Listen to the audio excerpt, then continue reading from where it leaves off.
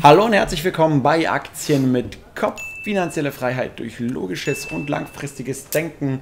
Mein Name ist immer noch Kolja Barkon und am anderen Ende der Leitung habe ich Richard Dittrich von der Börse Stuttgart. Und da passiert natürlich immer sehr viel an so einer Börse und umso mehr Fragen werden ständig gestellt.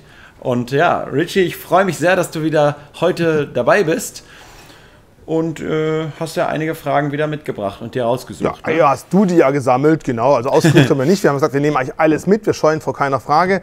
Du hast ja bei dir auf Instagram eine kleine Umfrage gestartet. Wichtig, du hast dieses Foto hier auch benutzt. Äh, nicht, dass ich auf der Straße falsch angesprochen werde. Das hier, ganz wichtig, äh, nicht Richie, Ritchie, das andere war der Jürgen Dietrich, der falsch geschrieben mit IE, mit dem ich öfter auch mal Webinare zusammen mache.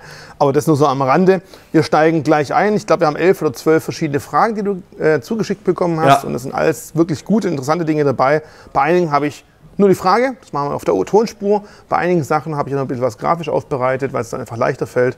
Lass uns aber einfach mal anfangen mit der ersten Frage. Ja, und zwar, warum fliegt die Deutsche Bank nicht achtkantig aus dem DAX? Also wichtig erstmal, der DAX ist natürlich nicht äh, irgendwas, wo man voten kann. Sorry, lieber DAX, du hast heute kein Foto, kommst nicht weiter.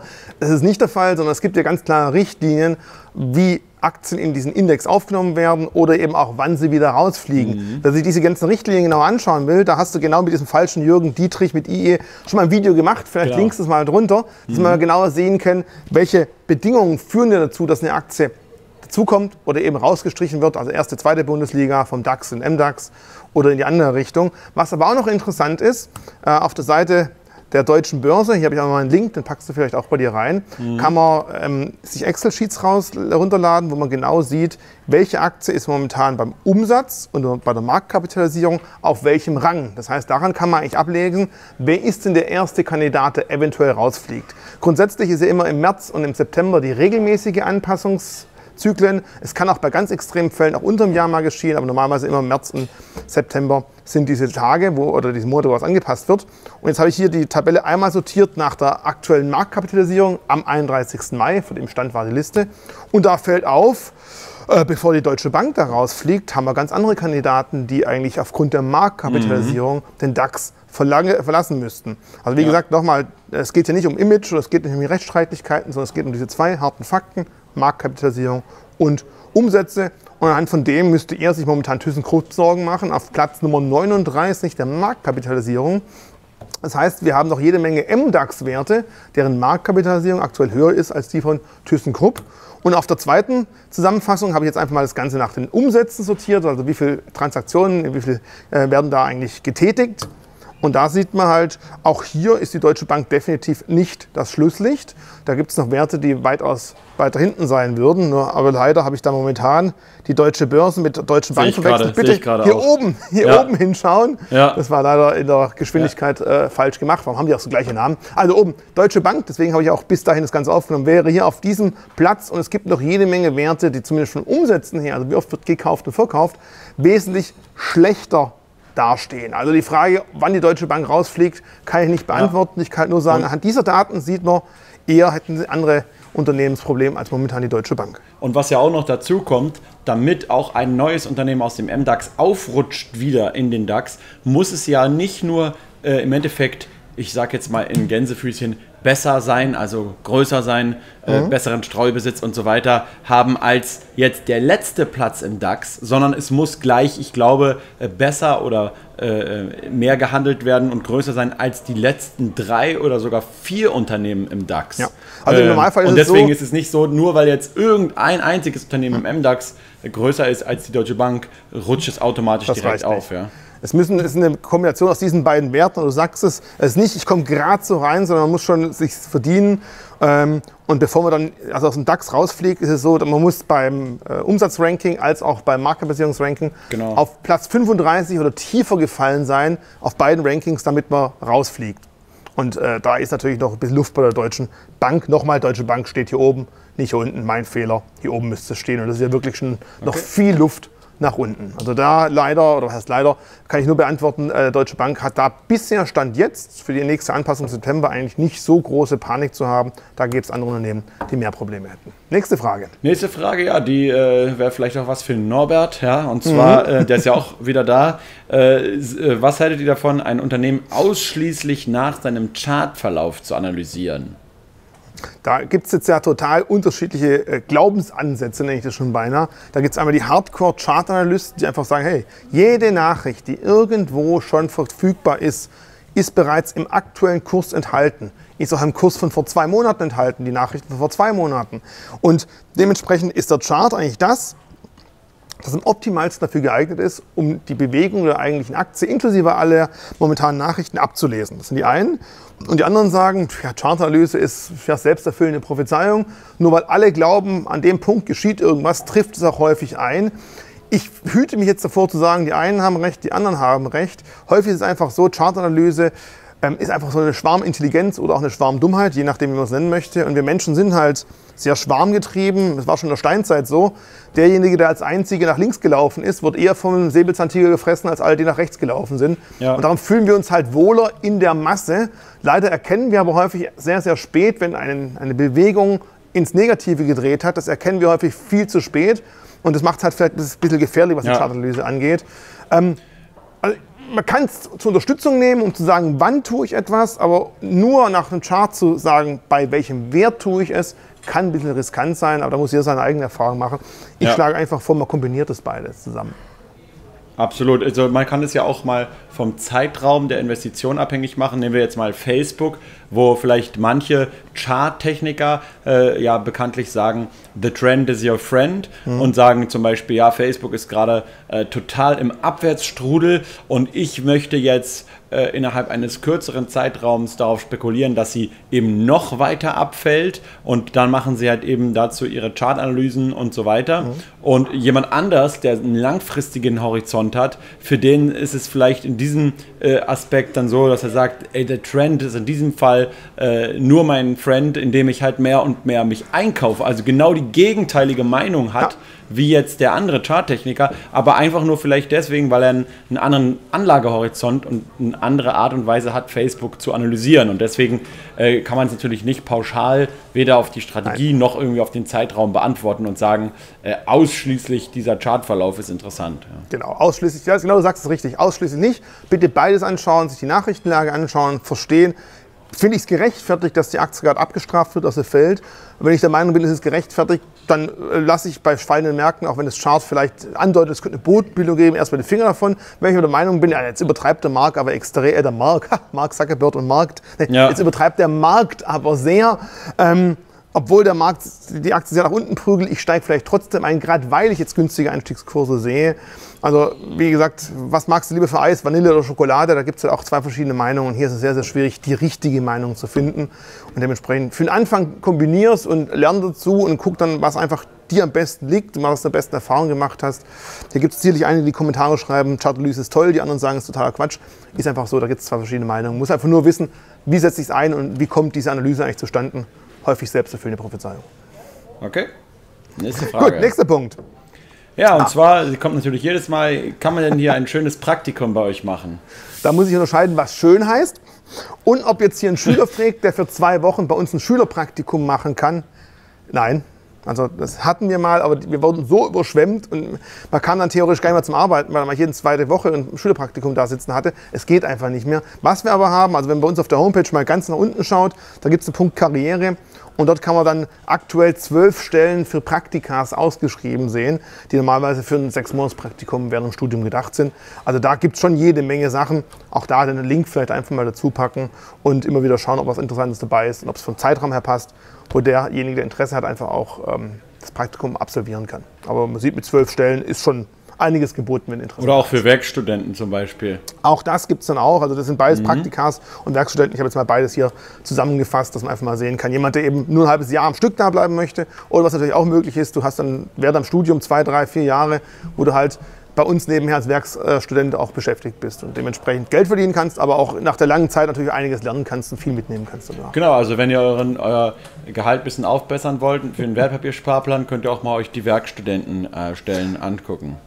Also wenn ich überlege, einige Werkstudenten, die bei mir als Werkstudent angefangen haben, sind jetzt auch bei uns im Haus beschäftigt. Das ist ja nicht so, dass sie dann komplett äh, außen vor sind, sondern wenn man halt schon Jahre mit der Person zusammengearbeitet hat, merkt hat, hm, der, diejenige hat es auf dem Kasten, Studium absolviert, dann kann es auch mal dazu kommen, dass man danach auch ein Jobangebot bekommen hat. Das war jetzt mehrfach der Fall. Soll aber nicht heißen, dass es automatisch dran ist, also bitte nicht falsch verstehen. Ja, klar. Okay. Okay, Dann die dann geliebten RDRs. ADRs und zwar sinnvoll oder lieber einen Bogen drumherum machen. Ja, dazu natürlich als erstes mal der äh, ganz äh, uneigennützige Hinweis. Wir haben dazu ja ein Video gemacht. Hast du bestimmt Ja. auch schon aufgeschrieben hier, Genau. oder? Nee, habe ich jetzt in dem Fall nicht, aber das man sich auch Okay. mal anschauen. Ähm, das findest du sich auch gleich raus. Aber genau die Frage ist durchaus berechtigt, aber vielleicht für all diejenigen, die sagen, ADR meint er jetzt ARD und ZDF, nein, RDRs, also diese Amer- American Depositive Receipts, das heißt also Aktien, die in Amerika bei einer Bank hinterlegt sind. Und die Bank gibt dann so eine Art Zertifikat dafür raus, damit das Wertpapier handelbar ist, zum Beispiel eine Gazprom, zum Beispiel häufig bei einer Samsung, also gerade bei Werten, die nicht ganz so einfach in den, bei uns oder in Amerika zu clearen, also von A nach B zu verbuchen sind, ist es ein häufiges Vorgehen, dass man einfach sagt, Meistens ist es dann gesponsert, dass die Gesellschaft Gazprom zum Beispiel sagt, ich möchte, dass meine Werte auch in den USA gehandelt werden können, aber die Zulassung der Originalaktie ist dort sehr kompliziert. Darum mache ich das einfach so, komm, ich gebe einer gewissen Bank eine große Menge an Aktien, die hinterlegt bei sich. Diese Hinterlegung ist auch ein, ist eine Art Sondervermögen wie bei einem Fonds. Also wenn die Bank pleite geht, hat Genau. es keine negative Auswirkung, sehr, sehr wichtig. Und dann kann eben so ein Wertpapier plötzlich auch in Amerika gehandelt werden. Äh, Es gibt manchmal Unterschiede, dass einige RDRs, vor allem die nicht gesponserten, also die von ohne Zustimmung oder Mitwirkung des Unternehmens, sondern selbstständig aufgelegt werden, ähm, eine gewisse Gebühr dafür auch verlangen. Es kann dann sein, dass eben 5% von der Dividende einbehalten werden und danach geht das Ganze erst an die Aktionäre oder die Inhaber des RDRs. Und zum guten Schluss, es gibt auch welche, die nicht unbedingt nur eins zu eins die Aktie darstellen. Es gibt RDRs, die stellen nur eine halbe Aktie dar. Es gibt RDRs, die stellen 10 Aktien dar. Also bitte nicht sagen, ich habe jetzt hier fünf RDRs, haha, der eine ist besonders billig, den nehme ich und der andere ist viel zu teuer. Da lasse ich die Finger davon. Schaut bitte natürlich nach, was verbrieft dieser RDR. Und im Schnitt, wenn man es auf Level 1 zu 1 bringt, wird der Preis identisch sein. Das mal zum Thema RDR. Ja, und Bogen machen, ich meine, hm, wenn es die einzige Alternative ist, heißt es ja nicht die Frage Bogen und den RDR machen, sondern Bogen um das Wertpapier machen. Wenn es allerdings die Aktie gibt und den RDR gibt, also ich meine, ihr könnt in Deutschland auch einen RDR auf die Daimler-Aktie kaufen, aber warum solltet ihr das tun? Also, daher die Frage beantworte ich dementsprechend selber, wenn es keine andere Alternative gibt und ihr die Aktie haben wollt, dann müsst ihr diesen Wert kaufen. Es gibt auch noch sogenannte GDRs, also global hinterlegte Werte. Wenn ihr aber die Möglichkeit habt, die Originalaktie zu beziehen, äh, jetzt darf ich nicht sagen, dass ich es empfehlen würde. Kolja, sag du doch mal, wenn es die Alternative gibt, was würdest du dann machen? Ja, immer den direkten und einfacheren Weg natürlich. Aber ich sage jetzt mal so, ich, also meiner Meinung nach ist es jetzt nicht sonderlich äh, risikobehaftet, wenn man jetzt ein ADR äh, kauft. Äh, ich habe jetzt noch nie irgendwie gehört, dass aufgrund dieser Konstruktion äh, Anleger irgendwie auf Verlusten sitzen geblieben sind und nicht äh, an, an ihr Geld gekommen sind oder halt irgendwie in anderer Art und Weise da da was schiefgelaufen ist. Das heißt, ich würde jetzt äh, nicht äh, sagen, uh, Hilfe, Zertifikat, äh, auf keinen Fall und so weiter. Ja. Genau, also wie gesagt, dieses Zertifikat ist ein Zertifikat, das getrennt vom Sondervermögen, also getrennt vom Vermögen der Bank ist, dementsprechend wie ein gesichertes Sondervermögen von einem Fonds. Und da ist das große, oh, die Bank fällt aus und dann ist das Ganze wertlos. Dieses Risiko hat man im Normalfall dort nicht und dementsprechend sind die Risiken da sehr, sehr begrenzt.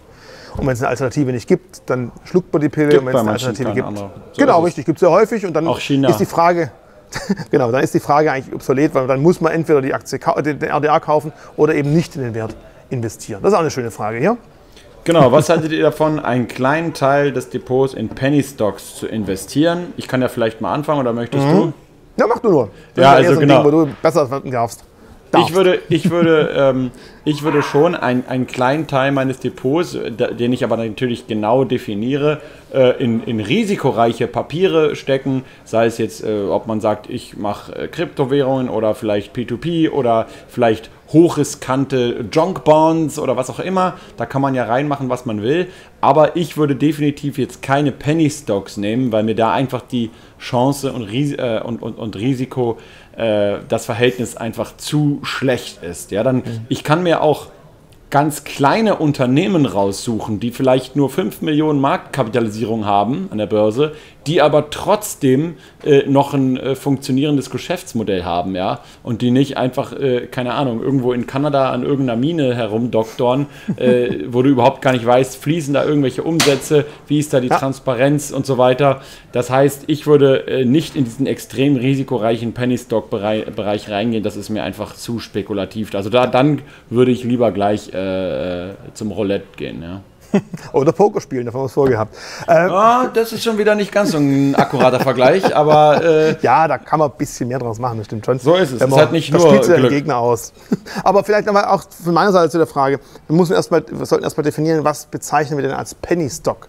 Ja. Nur weil der Wert günstig an der Börse ist, heißt ja nicht unbedingt, dass das Unternehmen zwangsläufig automatisch schlecht sein muss. In Amerika gibt es einen sogenannten Pink Sheet, also die äh, rosa Unterwäsche als. Ähm, als Handelssegment, das sind wirklich die Werte, die nicht nur sehr günstig sind, sondern auch, du hast gerade richtig gesagt, die Marktkapitalisierung extrem gering ist. Und dann müsst ihr einfach vorstellen, warum kauft ihr das? Bitte nicht, weil auf Wall Street Online irgendjemand mit zehn verschiedenen Accounts Selbstgespräche führt und die Wertpapiere hochlobt, sondern wenn ihr sagt, es gibt, das ist logisch, einfach, aber wenn ihr sagt, ich kann die Unternehmensstory verfolgen, und bitte, wenn ihr eine amerikanische Aktie kauft, dann müsst ihr englische können. Wenn ihr eine äh, chinesische kauft, dann solltet ihr die Heimatmarktsprache können. Und wenn was am Penny Stock in Deutschland mehr Umsatz ist als am Heimatmarkt, solltet ihr hellhörig werden. Das ist schon mal sehr, sehr eigenartig. Also grundsätzlich muss es nicht schlechtes sein, aber das Risiko, wie gesagt, ist extrem hoch. Und häufig ist halt die Informationsbeschaffung unglaublich schwierig bei solchen Werten. Und daher ist es natürlich sehr, sehr, sehr heikel und es ist einfach ein extremer Glücksfall, wenn man da ins richtige Papier investiert. Man kann es tun, aber wie du gesagt hast, es muss einem klar sein, ich habe einen High-Risk. Investitionsbereich, ob es jetzt ein Krypto oder sowas hier wäre, da kann jetzt jemand streiten, manche sagen Krypto wäre sicherer, andere behaupten sie nicht Penny Stocks. Man muss auf jeden Fall bewusst sein, das Geld sollte man so gut wie abgeschrieben haben, dann funktioniert es vielleicht. Aber eine Frage ganz kurz also, an dich, Conja, von meiner Seite. Ich sage, ich sage definitiv, und das äh, kennst ja meine allgemeine Meinung, aber ich sage definitiv, Kryptowährungen sind viel sicherer als die meisten Penny Stocks. Das soll was heißen von dir. Das soll ich wollte nicht so aggressiv sein, sonst heißt es gleich wieder, ich schwenke die hier Bison-Werbeflagge, deswegen habe ich es extra vorsichtiger äh, definiert. Aber die Frage an dich, du hast ja gerade selber gesagt, einen gewissen Prozentsatz. Ähm, wie gehst du eigentlich vor? Tust du dann irgendwann mal das Ganze wieder äh, in die richtige Bahn lenken. Also wenn deine risikobereichen mhm. Unternehmen extrem gut gelaufen sind, extrem gestiegen sind, äh, fängst du dann wieder an, das Ganze zu switchen und von dort wieder auf die 30 Prozent zu kappen, also ein Rebalancing vorzunehmen oder lässt es einfach laufen? Genau, ja, also wenn man halt, äh, wenn man halt sieht, ist, meistens ist es ja so, dass äh, der, der normale Anteil der Aktien und so weiter im besten Fall auch steigt im Wert. Und mhm. wenn dann sozusagen auch der Anteil an Penny Stocks oder halt eben an anderen risikoreichen Investments steigt, dann, dann gleicht sich das so ein bisschen aus. Aber es gibt schon auch äh, die Situation, dass man halt erkennt, äh, wenn jetzt zum Beispiel der P2P-Anteil äh, bei mir zu groß wird ähm, und der Aktienanteil immer kleiner und kleiner, mhm. Dass ich halt dann ähm, je nachdem, äh, wie ich halt aktuell die Risikolage einschätze, dann natürlich auch umschichte wieder. Also ich glaube schon, man sollte da irgendwie, äh, gerade was jetzt Penny Stocks betrifft, weil man muss ja immer wissen, nehmen wir mal an, du sagst jetzt 5% deines Depots, ja. Mhm. Ähm, egal ob jetzt 5 oder 10%, das ist halt alles Geld, was sich auf Dauer schöne ETFs verzinsen könnte mhm. über die Jahre. Das heißt, ich, soll, ich glaube nicht, dass man da sehr hohe Prozent Anteile von 10% oder mehr ansetzen sollte, sondern wenn, dann überhaupt eher so 5% oder sogar noch weniger. Und die, die sollte man dann auch äh, einhalten. Ja. Einhalten. Und wenn die Penny Stocks mal extrem gut laufen, dann fällt man überlegen, genau. ob man dann wieder dort ein genau. Stückchen rausnimmt, dass die 5%-Grenze jetzt nicht tagtäglich, aber genau. ab und zu mal so im Halbjahrestakt ein Rebalancing vorgenommen wird. Okay, Absolut. Ja, okay. Ich habe hab zum Beispiel das bei P2P auch gemacht, dass ich einfach so ge geguckt habe, okay, in den Zeiten, wo es halt mehr und mehr sich angesammelt hat über die Auto-Invest, dass ich eben auch aus jeder Plattform immer wieder so ein bisschen was rausziehe, einfach um so äh, mein, mein Anfangskapital nach und nach wieder rauszuziehen. Ja. ja. Sonst hast du ja. ein extremes Risiko plötzlich im P2P-Bereich, das Ganze läuft aus dem Ufer. Macht dann durchaus Sinn bei sowas. Also ja. Also so Rebalancing, ich weiß nicht, wie weit da schon mal so ein Video zu gemacht hast, sicher auch ja, interessant. etliche. Okay, ja. also dann, dann überspringen wir das Thema, wir kommen zu der Frage Nummer 6. Am besten ist halt beim Rebalancing immer durch Zukäufe zu machen, mhm. ja, und, und nicht immer durch Verkäufe und Zukäufe. Weil halt, einfach. Genau. Ja. Genau, ja, ja, Richie, die Frage geht natürlich so ein bisschen in deine Richtung, ja. Also, ja. Äh, was ist hier mit Digitalisierung und so weiter und Industrie 4.0, aber warum gibt es überhaupt noch Börsenhandelszeiten, ja? ja. Ich meine, äh, warum können wir nicht endlich Samstag, Sonntag und am besten auch noch am Feiertag handeln? Jetzt müssten wir mal eine Umfrage starten. Wer würde nachts am Montag um 4.30 Uhr gern handeln? Und die Frage würden wahrscheinlich relativ wenig beantworten und das ist schon das Risiko dahinter. Zu illiquiden Zeiten sind die Preise so dermaßen schlecht, weil einfach wenig Teilnehmer am Markt vorhanden sind. Oder mhm. einfach, weil so wenig vorhanden sind, andere, äh, die Liquidität spendenden Unternehmen ein großes Risiko haben und deswegen die Spreads sehr weit machen, dass es einfach unattraktiv ist.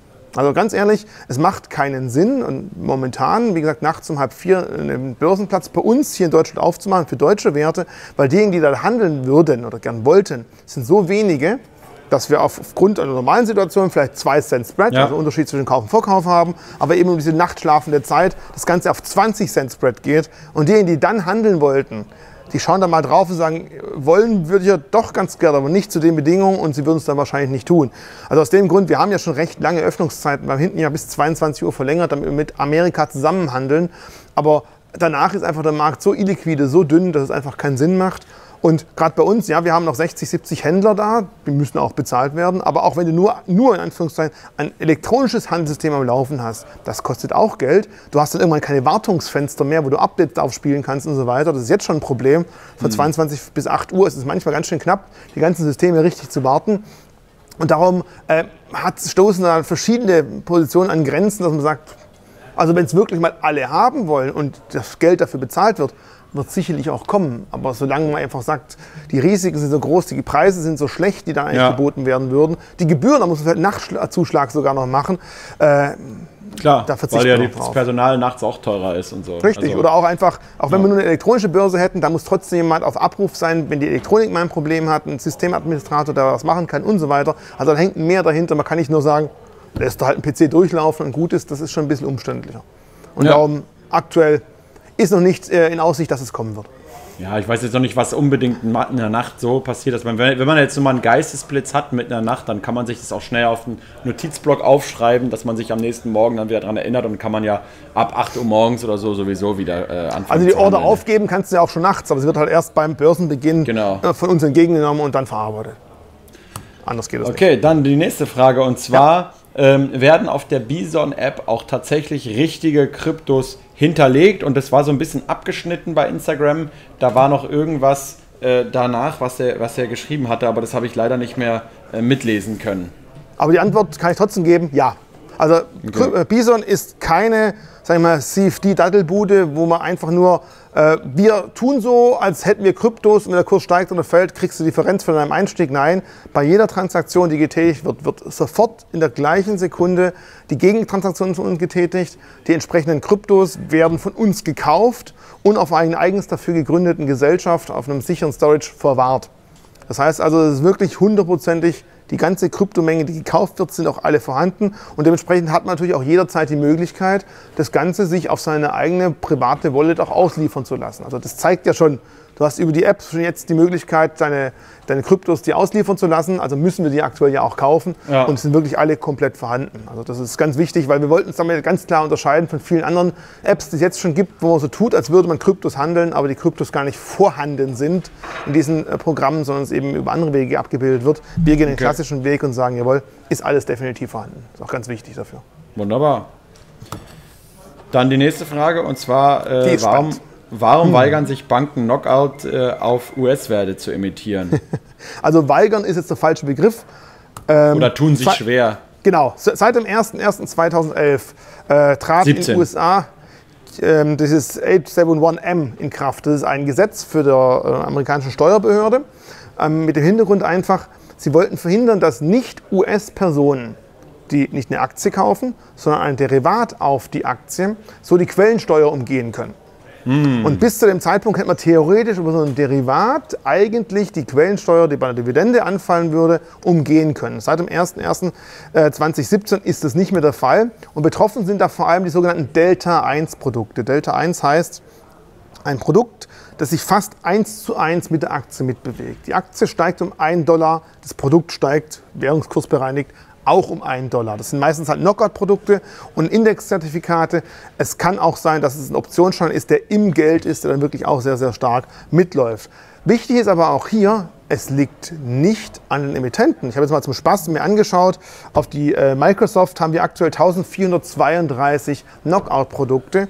Entscheidend ist, ob die Bank, bei der ihr Depot habt, im Hintergrund das regulatorisch so aufgestellt hat, damit sie dieses 871M auch abwickeln kann. Denn es gibt mhm. in Deutschland vier Banken, das wurde mir vor, ich habe kurz vor mit dem Stefano von St. telefoniert, danke dafür, er hat mich informiert. Seiner Meinung nach gibt es momentan vier Banken, die das abwickeln können. Das wäre die FlatEx, ING, äh, Max Blue und die kommen direkt. Bei denen kann man diese Produkte handeln. Bei vielen anderen Online-Broker, die intern die Abwicklung noch nicht sauber äh, dargestellt haben, kann man die Produkte momentan nicht kaufen. Also Schuld sind dann häufig nicht die Emittenten, sondern häufig die Banken, die diese Prozesse noch nicht sauber haben.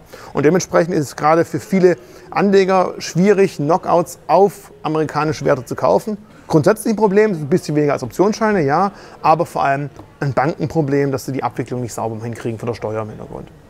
Okay. Also dementsprechend, wenn ihr bei eurer Bank mal anruft und gerade mal das, äh, das, das Reizwort 871M nennt, sollte die Bank eigentlich wissen, jawohl, wir sind in der Lage dazu oder nicht, fragt einfach mal nach ähm, und hoffentlich habt ihr dann die richtigen Bank am Start. Also keine Vollständigkeit, ich hoffe, es sind die vier, wenn es weitere gibt, seid nicht böse, wenn ich eine vergessen habe, mit bestem Wissen und Gewissen habe ich es weitergegeben. Da kommen wir auch schon zur nächsten Frage, die passt da ganz gut dazu. Genau. Und zwar nämlich, war, wollte jemand wissen, warum man nicht, wenn er jetzt einen Broker sich eingerichtet hat, eigentlich man sämtliche ETFs alle Wertpapiere, Produkte äh, halt an jedem Broker handeln kann. Nun ja, ich kann natürlich da erstmal zu sagen, ähm, es ist halt so, warum kann man nicht in jedem Kiosk alle Produkte kaufen, ja? Da hätten wir ganz viel Lagerfläche im Hintergrund. Aber ich habe die Frage extra hier hingehängt, weil man sieht ja schon, zum Beispiel ja. liegt es an diesem 871M, weil einfach manche Banken das von der steuerlichen Abwicklung nicht äh, auf die Reihe bekommen haben bisher und deswegen kann man halt einige Knockouts dort nicht kaufen. Anders ja. ist es so, es gibt DeGiro, da bist du auch Kunde, die haben zum Beispiel nur einige Börsenplätze und nicht alle angebunden. Genau. Und wenn halt manche Produkte auf manchen Börsen gehandelt werden, die Börse ja. aber nicht angebunden ist, dann fallen die Produkte einfach weg. Genau. Grundsätzlich sollte eigentlich aber jede Bank jedes Produkt, das bei dieser Börse gehandelt ist, auch handelbar machen. Also das ist, da gibt, sollte es eigentlich keine Einschränkungen geben. Die Einschränkung ist eher von der Abwicklung im Hintergrund und welche Börsenplätze sind angebunden. Da gibt es die große Unterscheidung. Aber ansonsten sollte eigentlich jeder Broker Zugang zu jedem Wertpapier angeben. Genau, es ist ja aber auch einfach eine, eine Sache der Spezialisierung eines Brokers. Wenn mhm. der jetzt zum Beispiel sagt, äh, wir sind ein absoluter Discount-Broker und wir wollen halt irgendwie äh, den allergünstigsten Handel auf irgendeine Art und Weise ermöglichen. Da gibt es ja nicht mal äh, zum Teil Kurs. Werte und, und, und Taxen und so weiter. Hm. Das heißt, du kaufst dann irgendwie eine, eine Aktie, musst du aber erstmal äh, an irgendwelchen anderen Informationsportalen ähm, einfach erstmal die aktuellen äh, Preise anschauen. Weil, ja. weil, weil genau, nämlich diese Lieferung von diesen Preisen äh, ja auch Geld kostet, ein, ein Broker. Und deswegen gibt, kann man auch immer sagen, es, es hängt einfach auch der, von der Strategie des Brokers ab. Jetzt gibt es ja dieses Trade Republic und so, die handeln ja, glaube ich, auch nur über die Börse Hamburg oder Lang und nee, Schwarz. Die handeln über keine Börse, die handeln nur über Lang und Schwarz aus. Nur, nur, nur, über, genau, nur über Lang und Schwarz, genau. Und, und äh, das ist natürlich dann auch äh, wieder so ein Punkt, wo man dann natürlich sagen kann, ähm, äh, ja, das, das liegt natürlich dann was hinter natürlich damit zusammen. Was, was genau. bieten die an und wenn sie halt einfach bestimmte Wertpapiere nicht abdecken, kann man logischerweise dort nicht handeln, ja. Richtig, also Lang und Schwarz zahlt Trade Republic dafür Geld, dass Trade Republic Lang und Schwarz Orders übermittelt und dementsprechend wird Trade äh, Lang und Schwarz auch nur die Orders entgegengeben, mit denen sie im Hintergrund Gewinne machen können, weil sonst würden sie es nicht tun. Also genau, und auch, hier müsst ihr, genau, und auch hier müsst ihr immer gucken, nicht, nicht jeder Broker, der irgendwie vor, äh, an der Vordertür ein Schild hat, wo steht kostenfreier Handel und hier zahlt ihr nur 1 Euro oder so, ist unbedingt auch immer dann der günstigste. Sei, dazu habe ich mit Richie ja auch schon ein Video gemacht, wo wir erklären haben, so den Unterschied zwischen Produktkosten und Versandkosten. Mhm. Okay?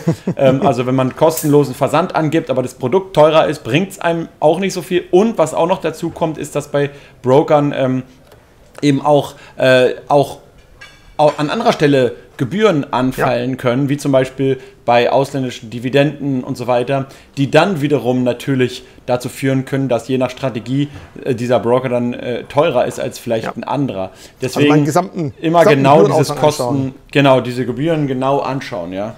Und genau, nicht irgendwie richtig. reinfallen auf kostenlosen Handel oder so. Und wenn die Sachen, die was kosten, für mich eh uninteressant sind, sorry, dann ist es vielleicht der richtige. Wenn ich aber für jede Order, Löschung und Änderung nochmal 5 Euro zahlen muss und ich oft hin und her laufe, dann ist es einfach der falsche Broker für mich. Also da, wie du ja. gesagt hast, nicht nur auf gebührenfrei reinfallen, sondern gucken, was fällt denn sonst noch so an. Da haben wir ja. nochmal eine schöne Frage.